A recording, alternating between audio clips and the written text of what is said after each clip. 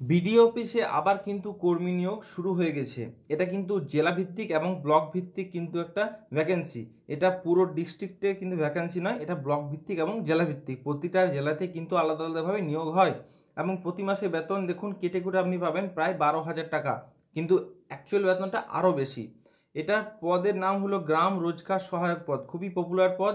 এটা কিন্তু গ্রাম ভিত্তিক এবং আমাদের ব্লক ভিত্তিক কিন্তু কাজগুলো হয়ে থাকে। দেখুন, এর কী কী আছে এলিজিবিলিটি কীভাবে আপনি এটা অ্যাপ্লিকেশন করবেন অনলাইন না অফলাইনে কী কী আপনার ডকুমেন্টস লাগবে?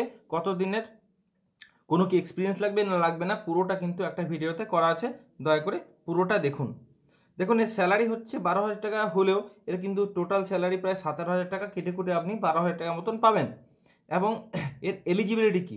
এলিজিবিলিটি মানে হচ্ছে আপনার, দেখুন, শিক্ষাগত যোগ্যতা থাকতে হবে টুয়েলভের ব্যাকগ্রাউন্ডে আপনার কিন্তু পঞ্চান্ন শতাংশ নাম্বার পেতে হবে। সায়েন্স ব্যাকগ্রাউন্ডে অর্থাৎ কিন্তু আপনাকে বিজ্ঞান বিভাগে উচ্চ মাধ্যমিকটা পাস করতে হবে এবং আপনাকে পঞ্চান্ন শতাংশ মিনিমাম নাম্বার পেতে হবে। এটা কিন্তু নয় যে পঞ্চান্ন শতাংশ পেতে হবে মিনিমাম পঞ্চান্ন শতাংশ পেতে হবে। ছ মাসে আপনাকে কম্পিউটার ট্রেনিং অ্যাপ্লিকেশন কম্পিউটার অ্যাপ্লিকেশনের ট্রেনিং থাকতে হবে। কম্পিউটার অ্যাপ্লিকেশন মানে কি? মানে ওয়ার্ড এক্সেল পাওয়ার এইগুলো। মাইক্রোসফট ওয়ার্ড মাইক্রোসফট পাওয়ার এইসবগুলো। মাইক্রোসফট পাওয়ার পয়েন্ট এসবে আপনার কিন্তু ছ মাসে একটা ট্রেনিং থাকতে হবে।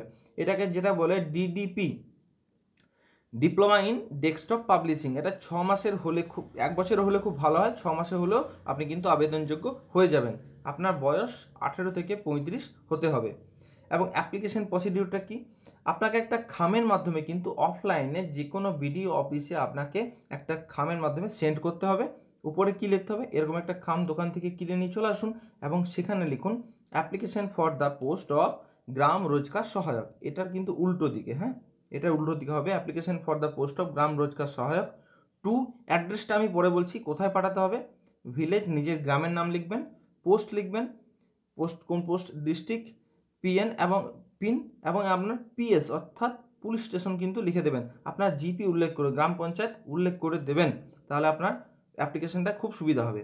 দেখুন, যে পত্রে, যে আবেদনপত্রে আপনাকে পাঠাতে হবে সেটা হলো programme officer and block development office Mohammad Bazar development block village Patelnagar post Mohammad Bazar T S dist Birbhum এটা শুধুমাত্র বীরভূমের জন্য ভ্যাকেন্সি যারা বীরভূমের বাসিন্দা, তারা একমাত্র আবেদন করতে পারবেন।